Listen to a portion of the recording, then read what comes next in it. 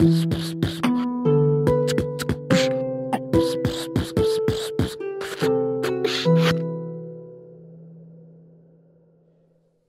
hey.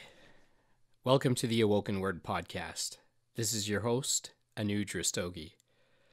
I am excited because today I'm sharing with you my first guest interview of the show.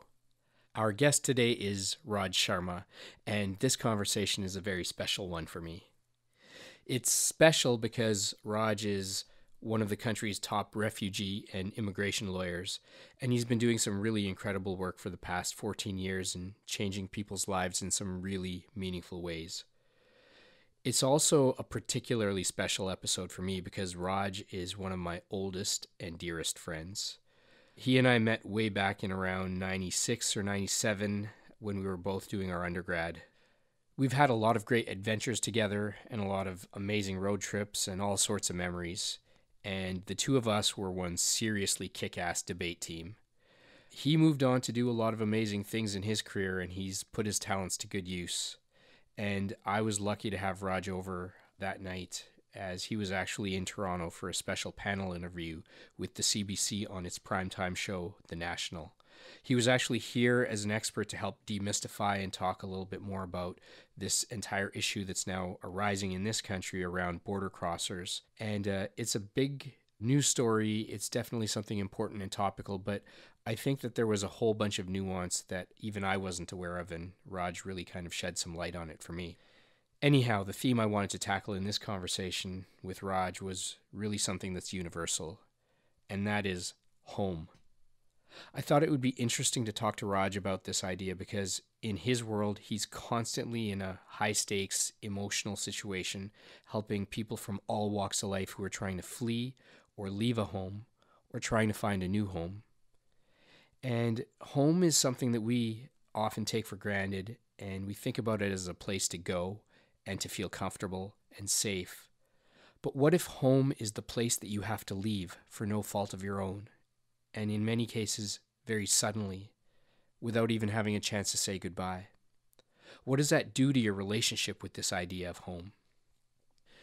This conversation was recorded on September 4th, and it isn't yet aware of some of the crazy things that have happened in the world since the alleged killing of journalist Jamal Khashoggi by the Saudi regime, and this whole Brett Kavanaugh debacle that was the top of the news cycle for several weeks on the day we recorded, Colin Kaepernick's Nike ad had just come out, and we were here at home learning that the Supreme Court had just blocked the Kinder Morgan pipeline.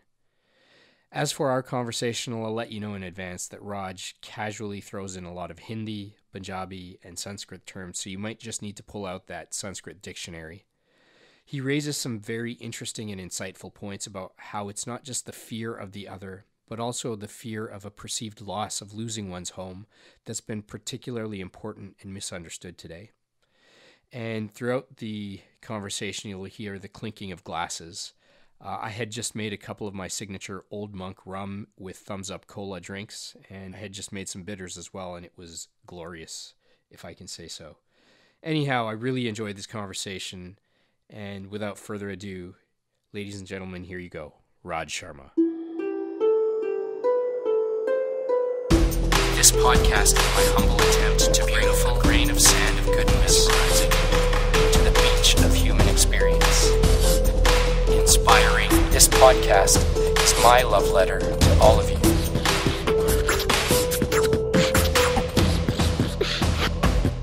The Awoken Word Podcast. So we're joined here today by uh, a dear friend of mine, Raj Sharma. Raj, welcome. The honor is mine. So, Raj, tell us tell us your story, everything that kind of led up to being here professionally. What's your background? Where did you grow up? Professionally, I'm an immigration lawyer. I have a, my practice, my firm is in Calgary. I'm in Toronto right now at my close and one of my oldest friends' house. Um, came here for an interview, uh, media interview. So great opportunity for us to reconnect and uh, as always, you helped me prepare for the interview, so that was great. Before that, I was uh, born in Hamilton, Ontario. Came out to the west, grew up in BC, interior BC. Uh, went to school in Edmonton. That's where we met. and then started practicing law. Uh, prior to that, I was a refugee protection officer in Calgary. So I've been in Calgary for the last uh, 15 plus years. Okay. So it's uh, the theme I want to really hit on today with you is is kind of it's on the beaten path but yet off and it's really around this idea of home. And I just thought that it would be interesting to get your perspective on home, not just as an individual who has a home and, and goes home, but also as someone who, on a day to day basis, is dealing with people who are wrestling with this question of home. Well, you know, you know, you asked me about this, and I was like wondering what could I, as a immigration and refugee lawyer, talk about home. I mean, for my clients, the concept is to leave home, and perhaps to create a new home but for for me is is the concept of if it's a refugee then it's loss mm-hmm. it, it's a it's a deep seated loss right. and so refugees are by definition uh, they're leaving home not because they want to leave home be, but because circumstances force them to leave home and so that's a deep aching loss it's a wound that festers it's a wound that perhaps never really heals itself so again, these are these are loaded terms. When you say that the term home, what does that mean to me? I mean, you know, personally or professionally, from a professional point of view, if we're talking about refugees that are perhaps torn away from home. On the other end of the spectrum, I have I represent individuals, perhaps children born in Canada, that are at the end of their road and they are being forced to leave the only home they know, which is Canada.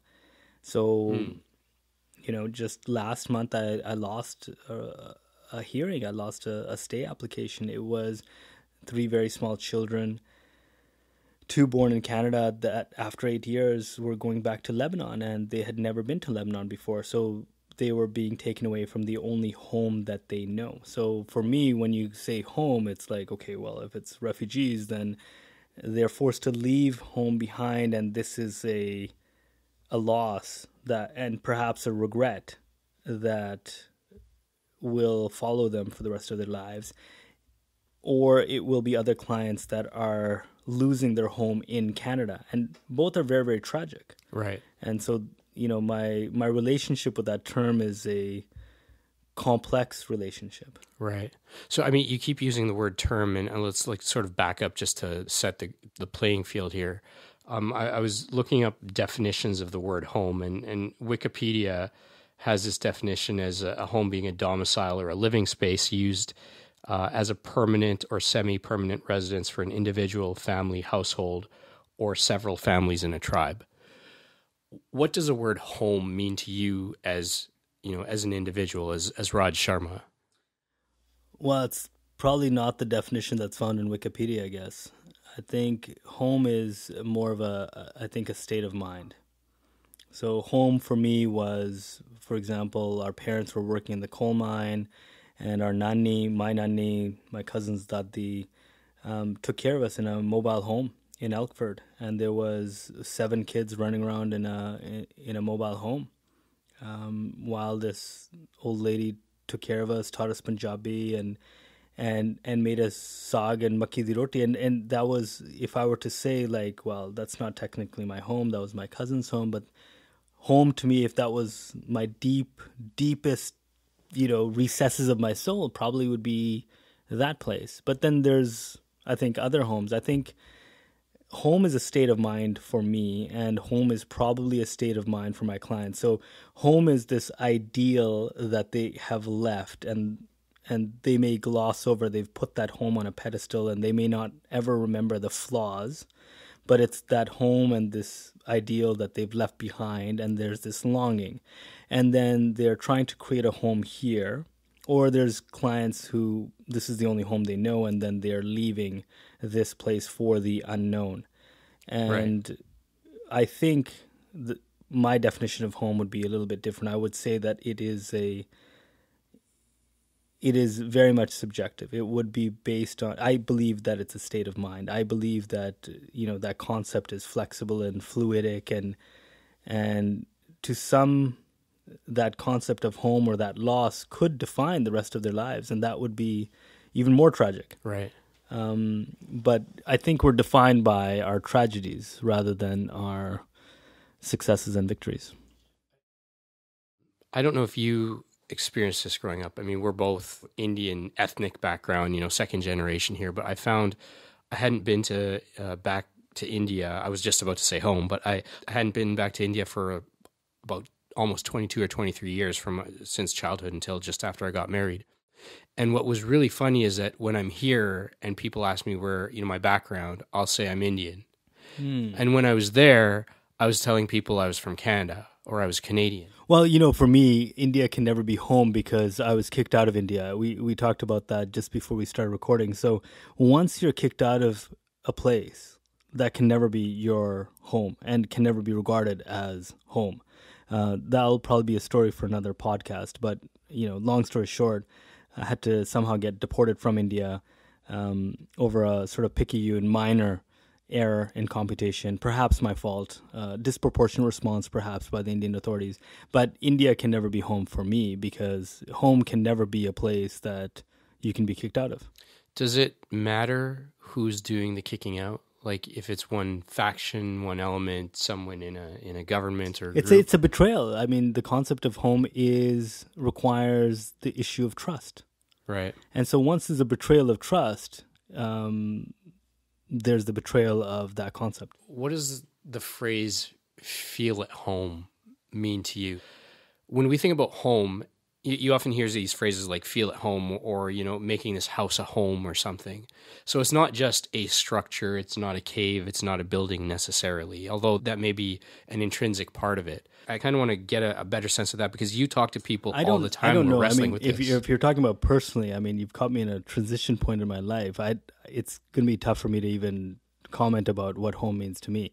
In terms of my clients i think home is a security. So why do people uproot themselves and strive off or seek out the unknown, which is could be very very dangerous. So no one willingly, in my opinion, uproots themselves from everything that they know, their language, their family, and just for a gamble.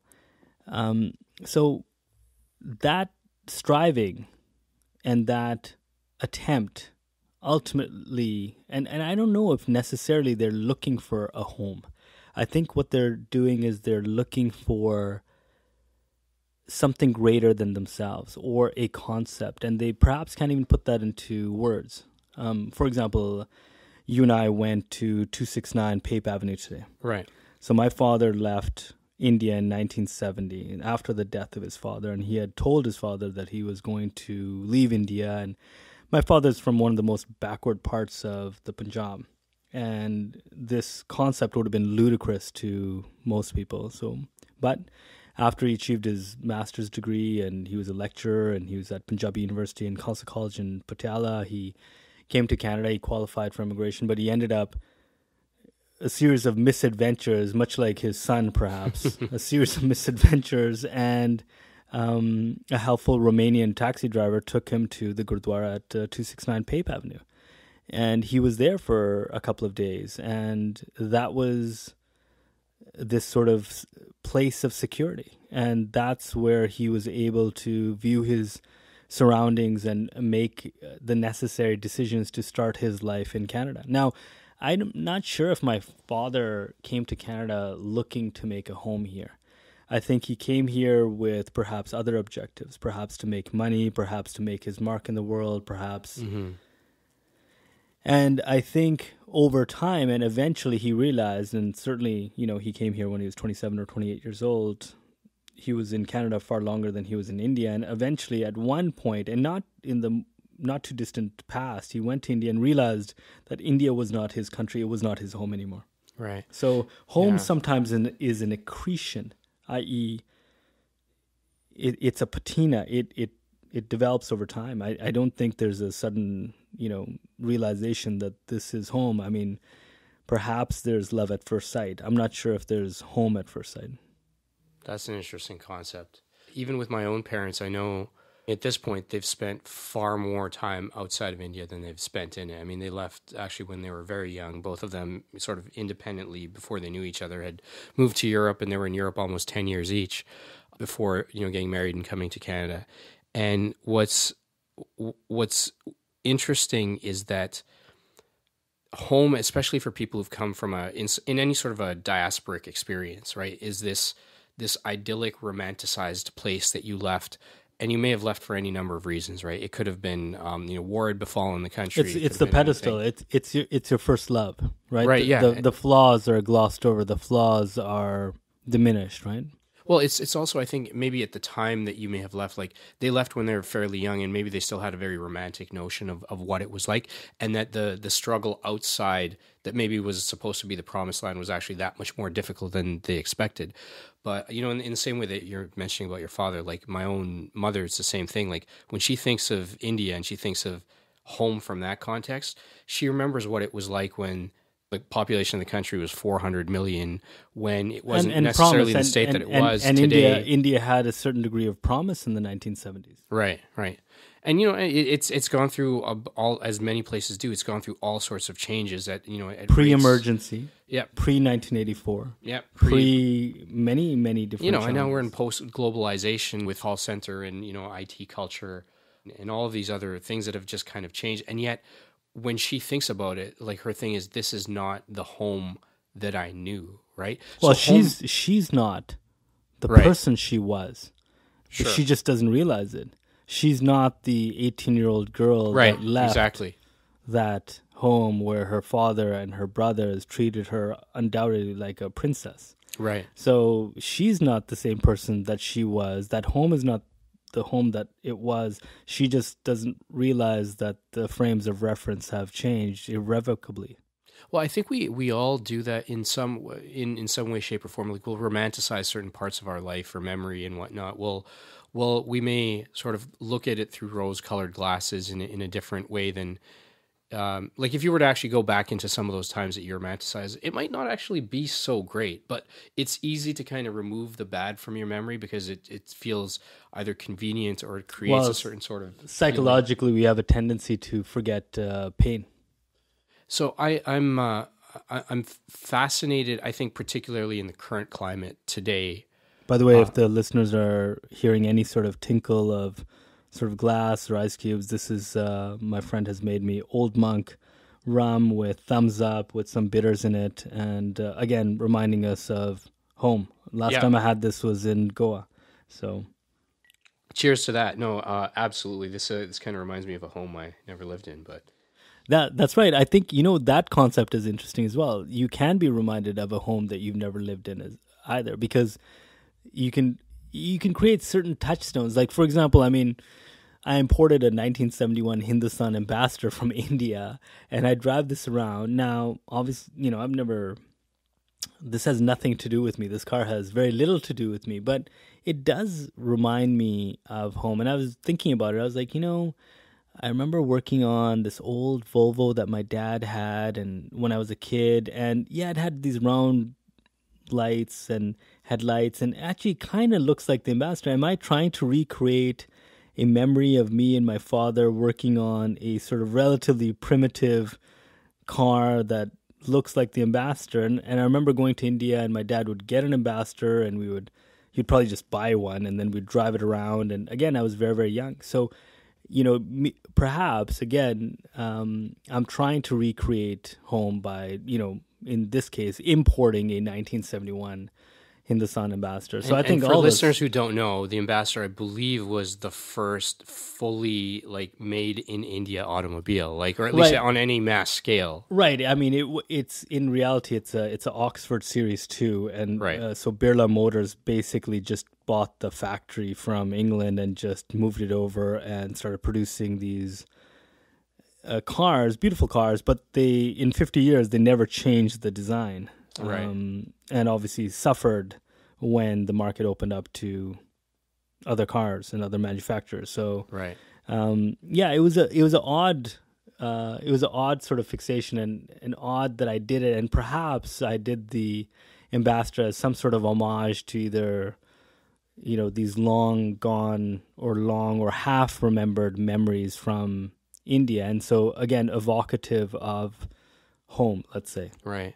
So I'm I've been uh, kind of fascinated with this idea of kind of talking about home, largely because this has become even more um, newsworthy of recent with all of the different crises that have we have somehow created for ourselves um, you, know, you know you, you, understand, of course, we are living in almost unprecedented times. There's sure. millions of individuals that are displaced from right. their homes right now. Right. We have millions displaced from Syria. We have now uh, millions displaced from Venezuela. So we are living in these sort of unprecedented times where unwillingly individuals are leaving behind their homes and their ties and their families and it is we are living perhaps in an age of heartbreak that we have not encountered perhaps in decades. What's interesting, particularly as it comes to all of these different refugee crises and, and what ends up manifesting itself in the, in the far right and populist movements, Brexit, the rise of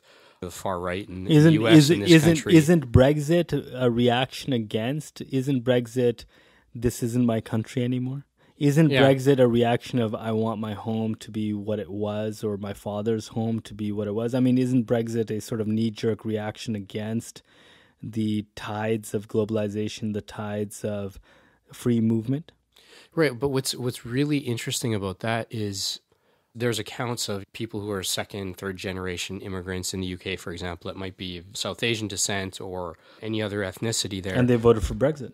Who voted for Brexit and are also complaining that the Romanians and the, the, the Romas and the Gypsies are coming in and taking our jobs and whatnot. So that same sort of sentiment that you would have expected from a otherwise sort of nativist a background is coming even from people who are second and third generation. No, no, but I mean, hold from... on, Anuj. Like, I mean, at that point, like, okay, we expect individuals to integrate. We expect this is our country now. So why wouldn't I react the same way, for example, as, or why wouldn't my son react? Fair this, point. I yeah, mean, fair point. I mean, if if they are Britishers, if they are from the UK, and they feel that their concept of home is being disrupted or it's not the same, I mean, that sentiment should be respected. I again, you know, I was on there's a media interview today as well, and so I want to be respectful of these feelings and these concepts. And so we had this, you know, UNHCR representative is like, "Oh, what's the big deal? This is nothing compared to Bangladesh, the inflow for Canada." But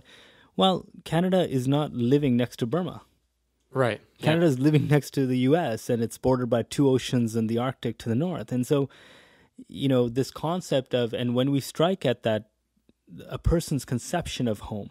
And when you seek to perhaps or perception the perception is a radical change it strikes a chord and that is that nativist sentiment and so we have to be even in immigration as an immigration lawyer we have to be cautious here because you could strike that chord and it could lead to nativist sentiment which could then also change that concept of home, which for me is Canada is this welcoming, right. inclusive environment. So uh, we're living in an age that's uh, there's dangers all around us, and right. it's it's difficult to sort of you know these are we're we're casting pebbles into a lake, and there's going to be ripples, and there's going to be consequences, uh, both foreseen and unforeseen. Right.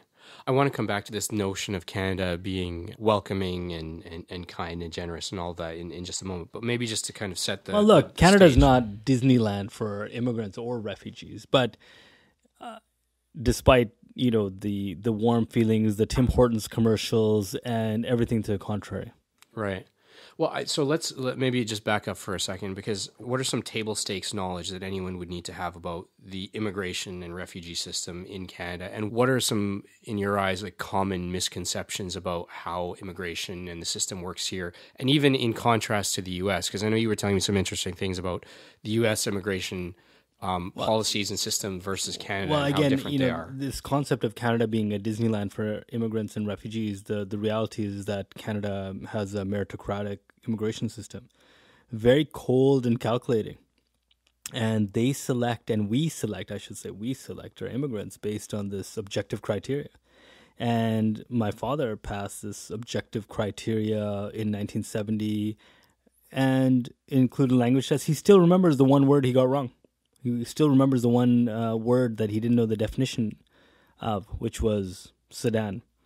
So we have this meritocratic system, which is cold and calculating, and now it's this express entry system. So basically, it's shaadi.com. Okay. So shaadi.com is you create your profile, and your profile is going to be ranked with everyone else in that pool, and then Canada picks the top.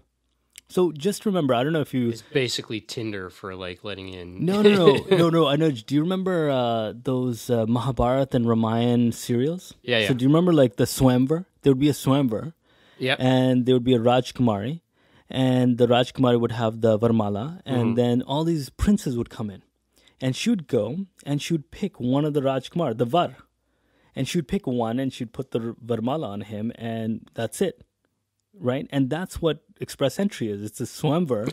All these blood are, are in this pool, and we're going to assess them against everyone else. And it is cold blooded, very, very calculated. Obviously, it's it's it's points based, and all these countries want to follow our model. The U.S. wants it.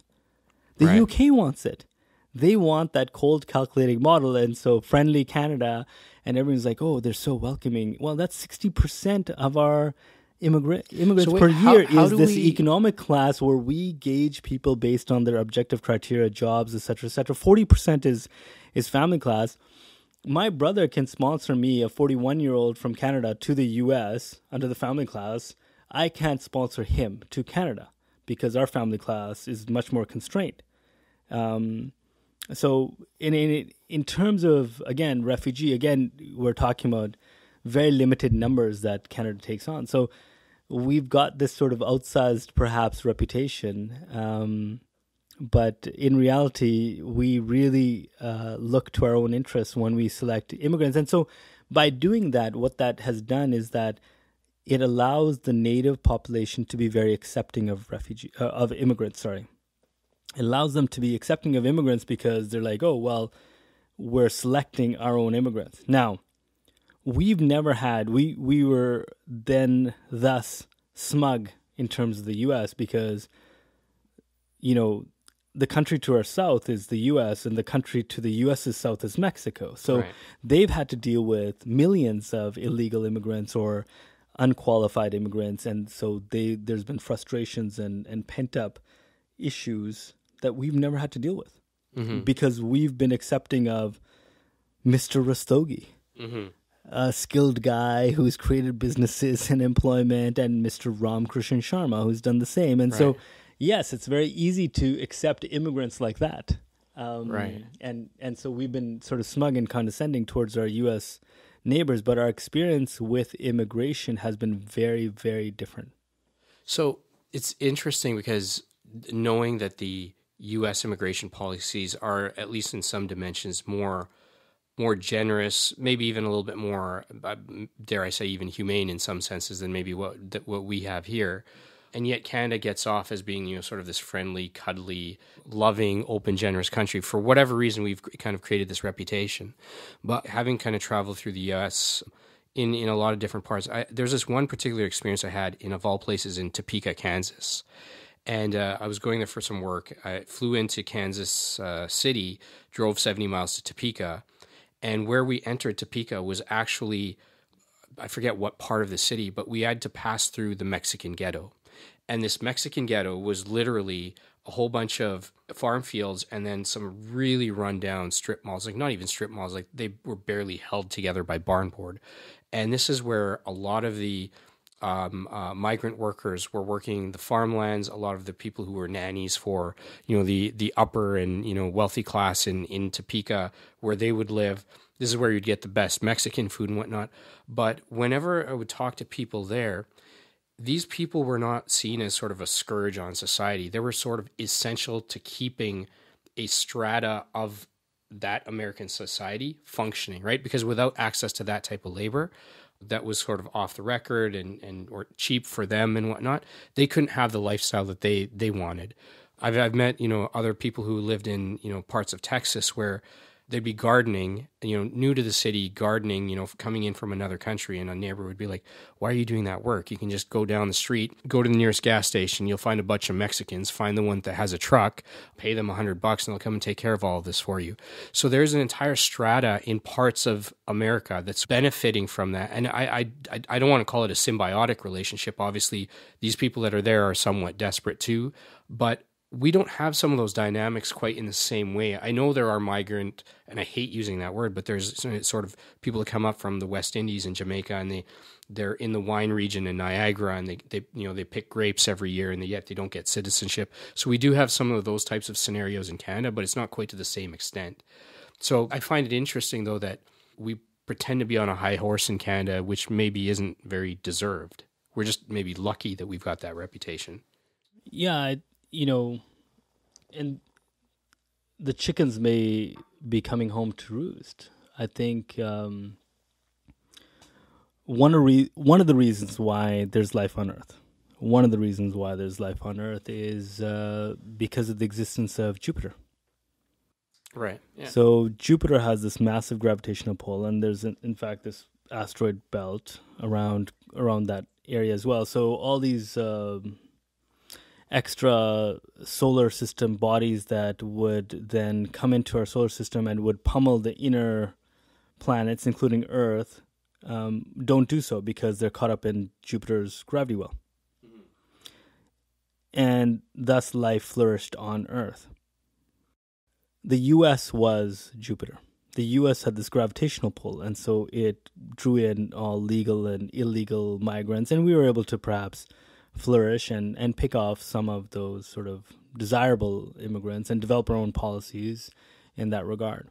So we've been able, we've been smug because of that.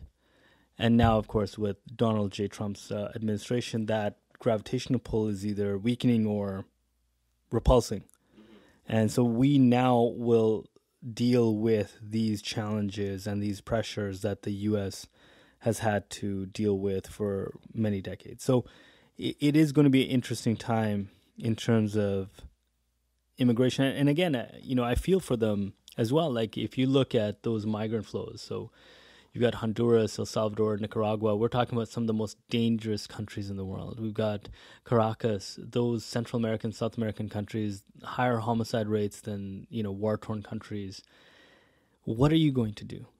You know, you've got two kids, I've got two kids. What are you going to do? You're between a rock and a hard place. You would do the same thing that these individuals are doing. And in fact, these individuals that are being apprehended, these families that are being apprehended at the U.S. border, honestly, I would tell them to cross that border and keep heading north.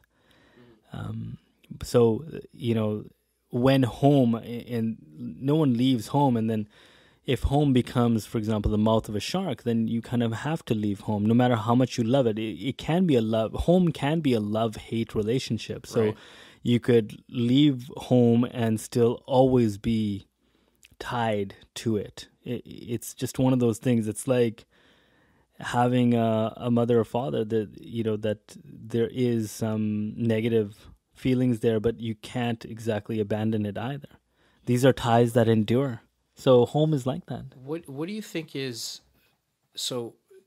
I mean, people could be leaving a place for any number of reasons. There could be uh, an outbreak of civil war. There could be some natural disaster. There could be economic factors and whatnot. But when uh, when one nation uh, or one group has had you know a significant enough direct or indirect impact on another nation that causes a level of unrest or instability and whatnot that forces people to make this tough choice to leave. Do you think that the onus of responsibility changes? Like, are, are parts of Europe, even in this post colonial era, that have been responsible for cutting up certain countries in Africa or destabilizing parts of the Middle East with certain policies or U.S. meddling in South America? Is there, in your eyes, is there a greater responsibility on the part of those countries to kind of deal with the aftermath and, and be more generous towards the people that are coming to them? Yeah, whether you uh, whether you want to quote Rudyard uh, Kipling, uh, "White Man's Burden," or whether you want to talk about the revenge of the empire, absolutely. And and so like, and so when we talk about, for example, let's let's talk about New Mexico, Texas, and California.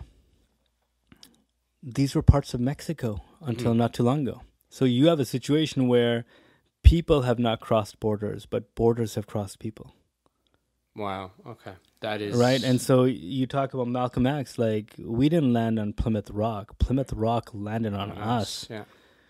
You know, absolutely there's a responsibility. Um absolutely. And you talk about individuals that the slave trade. You're talking about 400 years of a slave trade. You're talking about uprooting and destroying a culture. And is there an obligation? Absolutely. You're talking about, you know, Mexico and taking over territories that were part of Mexico, and now you're blaming like, well, the demographics in California, New Mexico, and Texas, and you know the Spanish speaking, and oh, this is America. You have to speak English. Like, well, what America are you talking about? Which borders are you talking about? Right. Because those borders moved, and the borders moved more, I think, than the people moved. right. So again, we went we were talking about this for the last little bit about nuance and we're talking about well, how do you how do you instruct nuance to uh, individuals that don't know history? Are you familiar with this story of the ship of Theseus? It only got introduced to me through this incredible Indian film by the same name, but it's this the concept is that if you over time replace every single part of a ship, is it still the same ship? Hmm. Right? And I I guess in that sense that like when you think about any country and every every generation the old guard is dying and a new guard's emerging and it is not is not the same place. It is it is a always moving. It's always dynamic. It's transient in a sense, Well, right? Well, look, I mean, I haven't read this book or this reference, but every cell that we have in our body is has a finite existence, Right. and we're they're dying. I mean, every cell and every part of our body is basically replaced. Let's say every couple of years. hmm I'm still the same Raj. You're still Anuj. I mean, you know, these things are. The bones are the same. The genetics are the same. You know, I, I think a country is more than just the stock of its people, or the particular stock of its people. In Canada, and I imagine this has been mirrored to some extent in, in other countries too. I mean, you've seen some of this happen in, in the UK with Brexit. You've definitely seen the rise of these types of sentiments in, in, in the US. But here in Canada, while people have misconceptions about how there may be some mythical queue, which you know we know doesn't exist for refugees, for example, or that immigrants are coming in and taking the jobs of people that live here otherwise, or why are we spending money to bring in refugees from other countries when we should be taking care of the people that are here at home or the Aboriginal communities, some of which are dealing with no clean water or no electricity in parts of the winters and whatnot. As someone in a position of power within uh, the government, you have all of these priorities, and many of them are competing, and you have a finite number of resources. How do we as a society sort of tackle this? How do we go about figuring out what the right thing is to do when? We were talking about earlier about free will. I think um, some decisions are are amenable to variability or, or variance, and I think some decisions aren't. I think in terms of, I think it was almost laughable when, uh, you know, the immigration minister and started talking about, oh, what should the immigration levels be for Canada for the next few years? And I'm like, with Donald Trump in the White House and with hundreds of thousands of individuals with precarious immigration status in the U.S., we shouldn't be talking about immigration levels or what levels we should set because I think we are going to be uh, playing defensive on that front. Mm-hmm. So certain decisions are up to us, and certain decisions are out of our hands. And so I think wisdom is realizing which decisions are ours to make and which decisions are going to be foisted upon us. And so we have to meet each challenge as it comes. when you kind of play out the stats of changes that have happened in, in policy in the U.S. and the impact that that's having, you know, coupled with the fact that we've been largely kind of isolated by you know oceans on on three sides of us, uh, you know, and the Jupiter that's south of us, but now there may well be a a wave of people who are looking for asylum. They're fleeing whatever circumstances. They no longer have um, maybe the the promising option of, of the U.S. and now Canada is, is is a possible option, and we may have volumes that we've never really faced before. And it's easy to say, um, you know, we're we're great and we're welcoming, and you know, Canada is open to you when you're talking to a few dozen people. But now, when that's like a few hundred thousand, or Well, we know- were we were navigating the traffic of Toronto today.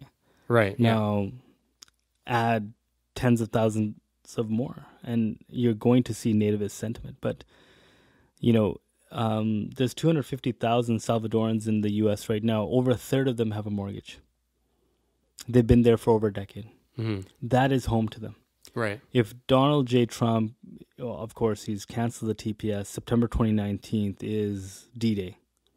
What is going to happen? These individuals, are they going to go back to El Salvador? I mean, a lot of their kids have been born in the U.S., Right. they have been in the U.S. for perhaps 15 plus years.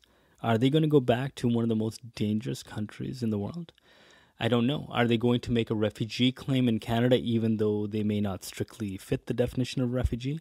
I don't know. I, I said earlier today that we may have to explore the option of an amnesty, and I think that a lot of people are going to, you know, literally freak out at that term. Um, but I don't see how else we can handle if you're talking about hundreds of thousands of refugee claimants and a refugee determination system can handle 20,000 per year and we already have a backlog backlog of 55,000 um, we are looking at an intractable problem like look I'm not I've said this many times I'm a pundit I'm not a jochi um, I don't have a crystal ball but there is this jwalamukhi there is a powder keg in the US and Mhm. I unlike other people do not pretend to be able to predict what Donald Trump will do. Right. And so he will perhaps determine that concept of home and what home is for perhaps hundreds of thousands of people. I mean, there's 800,000 plus DACA right, and their parents. I mean, we may well see something that is unprecedented in terms of the US. We Right. we may well see some action that may well shock the conscience. I don't know. I hope not. I hope not. let's um. I hope that we can walk back from this precipice. we were talking about this earlier when um, you know when you, you think about an individual you know an individual situation it's identifiable it's human and it seems tragic but the moment you talk about it in the thousands or the millions it's a statistic and so like coming back down from 30,000 feet things that you've seen what are some memorable situations that you've come across with with with people you've talked to and clients and whatnot? Like what are the reasons for leaving or coming? Like wh- what is it that brings people here from people that you've actually met and and, and spent time with? Well, I think anyone that truly flees a an egregious situation, something that violates basic uh, human rights, uh, and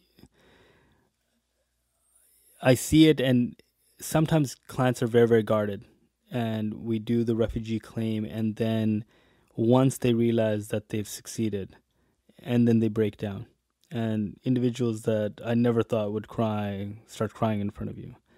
Um, you know, I, I did a Palestinian refugee not too long ago, very, very high up in the administration there. He was a whistleblower and he and that that act endangered him and the lives of his family. And that reaction is sudden, it's it's incredibly credible because it's so spontaneous. And so when you see that, then you realize, okay, well, they've they have burned all their bridges. They've they've they've crossed they've crossed the Rubicon. They've burned the bridges, and Canada's accepted them, and that is a seminal moment in their lives. And so to be part of that is, of course, very very gratifying. And so I'm very grateful that I can engage in this meaningful act that you know it, is there's some nobility in assisting them through and navigating this perilous journey so there is though those examples are what really sort of motivate me in, in terms of stopping someone's deportation particularly a child a Mhm. child that didn't make the decision to come to canada right or was born in Canada and certainly didn't make the decision that their parents didn't have or pr- had precarious status and might be going back to a country that they've never seen. And of course, my my my son, my children are about the same age as some of the children that I'm assisting. So many, many times I think really of those kids when I'm so stopping those cases or their that deportation and it's not really a deportation. They they're Canadian. No one can force them to leave. But right. obviously they're going to be accompanying their parents. So that's those are the sort of cases that really sort of motivate you, get you up in the morning, get you reading those, you know, cracking those books, still reading after so many years of doing this stuff. So, um, and is to preserve that home, right? Is to preserve the home. I did, and in particular for children. Mm-hmm. This um, the term expat gets thrown around a lot what uh, in your mind is there any difference between that and immigrant yes uh, expat is the term used for white people and immigrant is the term used for everyone else okay yeah it's it's kind of funny how that works or should i say expat in the past was used for white people and then now perhaps expat could be the term used for anyone from perhaps a G7 or G8 country. Um, so if right. I were to, you know, um, work in China, perhaps I'd be an expat, for example, or if I. Sure. Yeah, um, yeah. But uh, I think the expat term is a term, in my mind, I always laugh because if they if it's if it's a brown guy or a woman or you know of a melanin increased melanin or enhanced melanin levels then you're an immigrant and if you're right. a white guy working in Singapore you're an expat when you when you hear terms like um, migrant or illegal alien, which is not used I don't, so much I don't, anymore. I don't use. I mean, that's a term in the U.S. I don't refer to human beings right. as aliens. But I mean, when when you when you hear these terms, yeah. like what does it what does it evoke in you? Like, what, what why do you think that they're? It's an offensive term because you're dehumanizing someone, and you're dehumanizing someone in the most blatant way possible. Right. You're calling them an alien it's uh, I I kind of feel personally the same way about migrants because it doesn't. Um, a migrant on the term itself is not offensive in the sense of a migrant sure. is an individual in transit, let's say, and so. Uh, but you're right. The people that use that term tend to frame it in their own way. So if w- you or I were to say it, it would mean exactly what it means. Mm-hmm. Right. I mean, it's it's it's funny because and that you know, and I was very clear. Like, I don't refer to, right. for example, like if they were say, oh, illegal border crosser or illegal or irregular border cross. I'm like, no, I'm not going to use either of those terms. I refer to them as border crossers. Well, right, and and this, I mean, we keep this this phrase keeps coming up. This this whole death of nuance, but the idea yeah. that you can cross a border um, and file, you know, a refugee claim, you Legally. know, port of entry, or like once you've actually landed. Like, there's actually a due process for that. You're Section not technically one, illegal. Section one thirty three of the Immigration Refugee Protection Act, absolutely. But it's easy to take an image of someone coming into a, a border as a potential threat may or you know in, in all likelihood will probably have some elevated levels of melanin and then to say that these people are jumping the queue, they are here illegally, um, and to kind of stoke sentiment that you've started to see the sort of the the resurgence of populism in in you know Western Europe and the U.S. and even to a degree right here where we you know we believe this is the greatest place ever. Um, but yet those those those sentiments still exist here and they're being stoked. How do we get to a place where people actually take the time to consider any issue, you know, whether it's immigration or any other issue, and just kind of consider it a little bit more carefully, not just go off of a, a tweet, right, I'm, as as their news. I'm I'm really pessimistic on that. I think that we are in the post nuance age. I I really am not. Uh, I don't have a lot of uh, optimism in this regard. I think that individuals make decisions based on emotion, and I think that immigration is one of those concepts, and particularly this quote unquote illegal or queue jumping or border crossing, or it's one of those things that cannot be constrained. So, again, if anyone thinks Brexit is about bureaucrats in Brussels deciding regulations regarding vegetables and the flame retardant materials inside flags instead of quote unquote hordes of brown people flowing into the US, then I've got a bridge to sell them, or Mhm. perhaps a wall to sell them. Right. Yeah. No. It's um. It's it's hard. But to, I mean, you understand, like they evoked the loss of home in Brexit. Brexit was about loss. right. Right? Brexit was about loss. And so that that concept of it's home it's mother it's you know these are these are chords that strike deep into our souls. So brexit was about that. I think trump I, uh, don't tell me his muslim ban which he paraded in his um, you know run up to the election. I mean of of course that played a role. I Right. think that fear of loss and the fear of the loss of home is a very motivating factor and, and it was uh, more of a motivating factor factor for Trump and his base than it was like optimism for example for Hillary Clinton like yes she can I don't know I can't even remember what the hell her um, slogans were but Trump certainly evoked home again. Trump evoked Reagan again. He used the same line as Reagan, Mhm. make America great again. He's evoking this concept of nostalgia as if the 50s were anything great except for guys like Trump. Right, right. Yeah, exactly. And that's the thing. Like you can stoke, you can sort of, you can. We we got to do something about that old monk. It definitely needs to be replenished. Um, but you can you can stoke those those sentiments. I think quite easily. Now we're. It's interesting that we're seeing this resurgence now, and I th- I'm. I'm sometimes surprised and yet not that this wave is kind of hitting us. I mean, whether it's someone like Doug Ford getting elected premier in this province, or you know the rise of even like Canadian-born like right-wing extremist white supremacist groups, or the sort of anti-immigration, um, the the wave of like just Twitter noise that I saw around when that guy drove down Yonge Street and mowed down all those people. Every time something like that happens, the first reaction that people have is that, oh, it's sympathetic Justin Trudeau who's letting in all of these like these immigrants and these Muslim and Middle Eastern immigrants in particular and whatnot. And it just turns into this hysteria. And this is right here. But you know, like you know, my I talked to my parents a couple of weeks ago. Even my parents expressed concern about these border crossers. Right. I mean, yeah. that's it, it is. These are again when we pick immigrants, we're accepting of them because there's a concept of agency and choice. Mhm. When individuals sort of pick us and foist themselves on us, I mean, it does affect individuals in a certain way. It does affect that, and I don't want to sort of just blow it off. And you know, the panelist today was again a French national. He's he's a little bit more laissez-faire about these feelings. I don't want to blow those feelings off.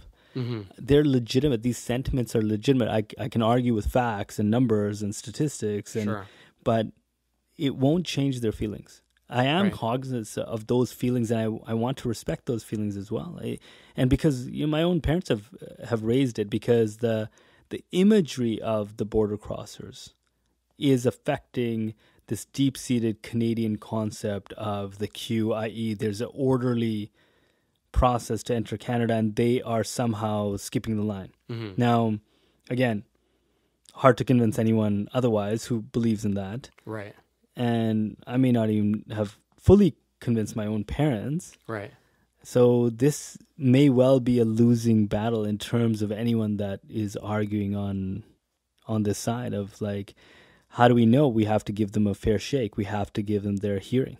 I think that if you look at the the phenomena that is Trump, I believe a significant part of the reason that it was as much of a surprise to the you know the establishment. It may have been a complete surprise to him. I mean, he yeah, certainly, he yeah, looked shell shocked that night. Yeah, yeah. I like, mean, are you?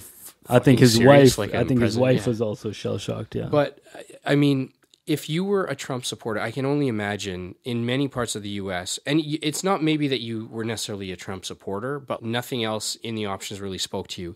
And the moment you said that you're you're you're planning to vote for Trump, and it might not be because you're voting for Trump, it's because you're voting Republican or whatever reason. or you're voting against Hillary Clinton. Or you're voting against Hillary Clinton. Immediately, I can just see the swarms of people saying you're a racist, you're a bigot, you're an asshole, you're all of these things. And the moment you just sort of come down on somebody without actually opening up a dialogue and understanding, okay, what is what's sort of the underlying root cause of you feeling this way? What makes you feel that this is a better option or that that's a terrible option? And if you shut that conversation down before and it I happens, and I don't I, I don't want to. I don't want to shut that because you know again they you know my my panelists were kind of like had this sort of uh, you know shrugging their shoulders attitude. I mean these claims will cost us money. It's going to be about fifty thousand per claim, and do the math. You got fifty thousand. You got about thirty thousand in the last eighteen months. That's quite a bit, and Right. I don't want a sea change in Canadian attitudes towards immigration, so I am concerned on that front. Right. And at some point, to the uninformed, it's so easy to conflate refugees, immigrants through the, the standard processes, and people who might be, you know, second or third generation from other parts of the world. Like it's to, to the to the uninformed, to the uninitiated, it would almost seem like you can just kind of roll everybody up into Well, a you know, group, one right? one thing that I found concerning is that again, you know, this UNHCR representative is is talking. Well, you know, the numbers that Canada took in is nothing next to Bangladesh. Why are we comparing ourselves to Bangladesh? Mm-hmm. We are not next to Burma. Why are we comparing ourselves to Lebanon? We are not contiguous or close to Syria, for example. We're Canada. We're bordered by two oceans and the Arctic and the US to the south. For us, for Canadians, this is a very, very significant issue because we've never seen these numbers before, for example. And so I don't know. I think, you know, downplaying this issue and dismissing the concerns of average Canadians, Joe Sixpack, the, the mythical Joe Sixpack, I think is a recipe for disaster. Everyone has a notion of home Mm-hmm.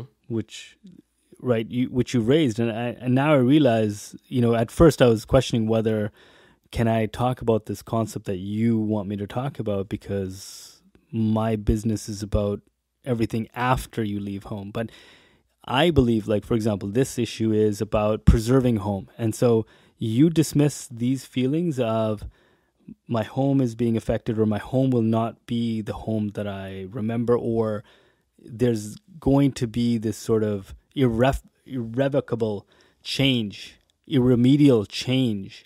Um, dismiss that at your cost. I mean, you know, Justin Trudeau has been been very very lucky in terms of his his lackluster opposition and you know the uh, you know the, the the you know Jagmeet Singh in terms of the NDP, but I don't know if it was anyone else. This issue would, if anyone else were to bring this issue up. I mean, you know, like remember Star Trek where like they go into that parallel universe and Yeah. Spock is evil, but he's got Yeah. the goatee and Yeah. Kirk. Like, if I was Why evil, you always you have to have a goatee when you're the evil version? you got to, you got Like, to why? remember, like even like in India, right? Obviously, the the rapist always had like the mustache or or whatever, right? But I mean, you know, like if I was evil Spock, yeah, I mean, this issue could be easily parlayed into electoral victory and defeat for defeat for the liberals for sure. But um, let's see what happens. It's it's the jury's out. I don't know. I don't know. I believe that this immigration and border crossers, this issue will be, for the first time, a significant issue in a Canadian election. right. I, I was hearing sort of chatter about this, and then I asked you this question earlier, and I was I was actually uh, like just again just pleading ignorance. I didn't didn't know better, but I was asking you if we've had any significant numbers of Rohingya Muslim claims from people who fled Burma, are are currently refugees in Bangladesh, but fleeing just unimaginable levels of persecution and and horrors and whatnot. And and you told me something about just the logistics of even filing a claim and ending up here in the first place. Can you talk yeah like in about terms of, in terms of our concept of what a quote unquote real refugee is those individuals never get to canada. Because to get to canada you need to get at a minimum a visitor visa or student visa or some kind of visa to get here. Now no canadian officer is going to give a visitor visa to someone that won't return that someone that's in dire straits someone that doesn't have enough funds for their trip so Canada won't give them a visitor visa to begin with. And again, this is another co- example of how we're actually more stingy than the US. The US might actually give them visitor visas, but Canada wouldn't. So give- are there certain is it a case by case basis or are there certain countries that Canada does not give vis- visitor visas to? Interestingly enough, I mean, like the Globe and Mail, you know ran an article they they had over 70 75% rejection rate from certain countries. A lot of those countries were the exact same countries that are on the US Muslim ban. So it's almost as if we have a Muslim ban except we just don't call it a Muslim ban. We just reject every single visitor visa application that comes from Somalia Mm-hmm. or Sudan or you know Yemen or right so i mean we just it's a muslim ban but hey a rose by any other name would smell as sweet and a muslim ban by any other name would still be racist or Right. I mean, it's obviously something that's close to home, like no pun intended for for all of us. And I think that it's just something that we have to have useful, intelligent, nuanced discussions about, right? Like, and it, it's just, I think it's a shame when I see people.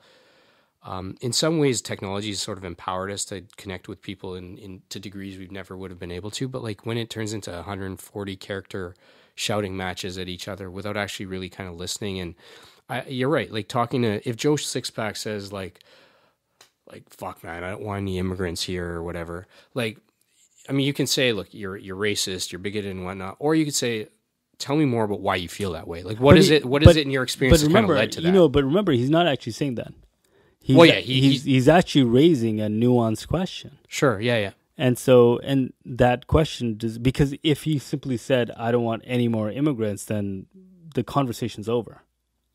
hmm But what I'm hearing is, wait, what exactly is happening, and what's changed from before, and why is this unprecedented sort of surge? And so, these are all legitimate questions, and we have to engage in that. It's not, this is not knee jerk. Uh, you know, anti-immigrant rhetoric that I'm hearing. This is legitimate sort of concerns. Like, okay, well, how, what's changed now? Right.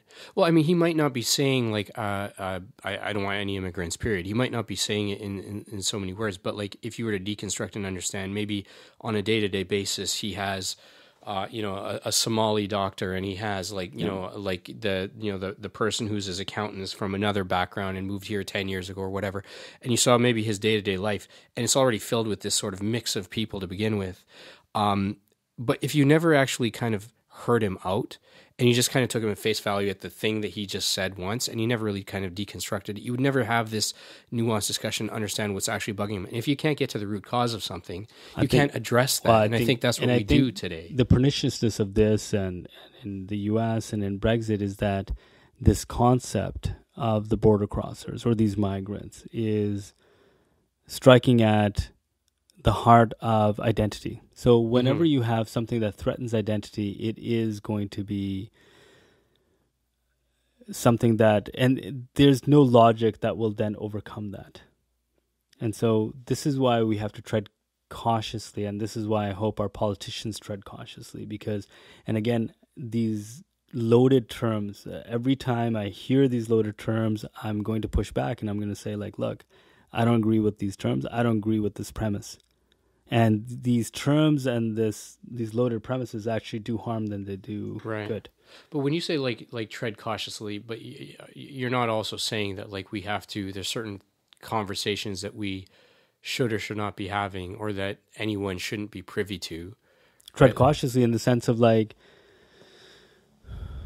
you are you know there's a semantic battle between the liberals and the conservatives irregular border crossers versus illegal Mhm. um, that's a loaded term and it adds nothing to the conversation in fact what it does is it stokes nativist sentiment Right. and the actual nuanced answer is that it's neither Right. is it irregular? Well, it's expressly provided for by the law. Is it illegal? Well, technically, but another provision contravenes it or stays it or suspends it. And so, uh, you know, why why go into this? I, I find that like this, I mean, this is just one of many topics, and you know, hopefully, we'll get you know opportunities to talk about a lot more in the future here. But th- in this in this death of nuance, I think a lot of that death of nuance is actually by this homogenization of opinion, right? So, for example, and we were talking about this earlier, being a you know, Homogenization of opinion or polarization of opinion? well, so there is because there what is a we, What we now see is this sort of polarized, homogenized Yes, yeah, reaction. yeah. I.e., on this side, I can tell you exactly what the argument is right or yeah. the speaking notes here, and I then on this other side, I can tell you exactly what those arguments. Yeah, so and- it's both. It's, it's homogenization and polarization. It's taking something that's uh, you know countless shades of gray and turning it into a similar, like just a, a you know a binary black and white. And i from that from that perspective, I, it's difficult, and I've seen it firsthand. I, I see it day in day out. Like to be a middle aged, blonde haired, blue eyed white man today who is saying something that would otherwise be considered rational can be so quickly misconstrued as racist. But if you happen Well, to let's be not. Let's not. no, it's not always the case, not- but there is some to some degree. I think uh, let's not. Uh, you know, it's a little early yet to to jump to to that defense yet. I think there's quite a you know there's quite a bit of privilege still at play. Oh, for sure. and so I'm you know forgive me for my lack of sympathy uh, for a little bit yet. Um, we'll see. We'll see. I think we are now getting some diversity of opinion. Well, I, I think I, maybe more what I was getting is not to say that there isn't privilege, and there's clearly many ills that have been committed by blonde-haired, blue-eyed, you know, men over history. But at the same time, if Joe Sixpack happening to be from one physically identifiable background versus another, that opinion may carry certain weight in certain circles. But you know, this in this sort of bipolar left and right uh, continuum that we're operating in. And I think that that's what's unfortunate is to just look at somebody and not actually hear out their opinion just because of what you see. I hope that there is just more discussion, regardless of what background someone comes from. I agree. I think it is a recipe for disaster to do what, again, uh, I think a co panelist was suggesting today, which is to dismiss those concerns as being completely unfounded. I have respect for those views, even if I disagree with them. Right. So, I mean, just then on that note, like out of respect for for your time, and you've been very generous with it. I appreciate you and you being uh, here. Respect for my empty glass. Yeah, which we will have to uh, remedy Yes. very quickly. But if anyone wants to kind of keep up to date with what you're up to, where can they follow you? Where can they find out more? Um, I tweet perhaps more than I should. That's uh, at Im Lawyer Canada. Uh, so IMM Lawyer Canada. Um, I've got a blog. I've got obviously the website uh, for the firm. It's Raj Sharma. I'm sure you can. People will be able to find me. Uh, it's uh, it's something that I've enjoyed engaging with. I really appreciate it. I know you're, you know, just uh, bouncing ideas off you. Um, you've always, you know, been fantastic that way. I mean, even if obviously you're not in, i this field at all, but it's still very, very useful just to hang out with you. And, uh, you know, even not a lot has changed after two decades, but uh, it, I think it worked out well um, today. And I, I hope I was able to bring some more light. I mean, this this conversation always brings up you know more heat than light and more noise than signal. So hopefully it worked out today. Let's see. Um, we always have to do our best uh, in this regard, and hopefully it works out. But you know, people will make the decisions that they make, and I wonder what will happen in the next couple of months. It could be uh, a momentous sea change for Canada if. Uh, if what I fear happens. Right. Well, I mean, I, I will sleep a little bit better knowing that someone like you is at least on the front lines of this because uh, we definitely need more nuanced and honest and open people like you. So thank you so much again. My pleasure, brother.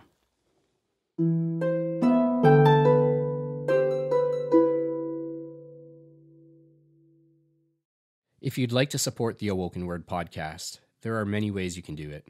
You can subscribe in your app of choice. We're on iTunes, Google Podcasts, Spotify, Stitcher, iHeartRadio, or TuneIn, for example. The biggest thing that you can do is rate this podcast and leave your review in iTunes or wherever you listen to it. You can also talk about this podcast, its guests, or the ideas shared on it in your own podcasts. If you find benefit in this show, tell your friends, tell your family, and even more importantly, tell your enemies. They'll appreciate it too. And of course, you can also follow us on social media, particularly on Twitter. Our handle there is at Awoken Word, on Instagram as at Awoken Word Podcast, or on our Facebook page. Thank you. Your support is greatly appreciated.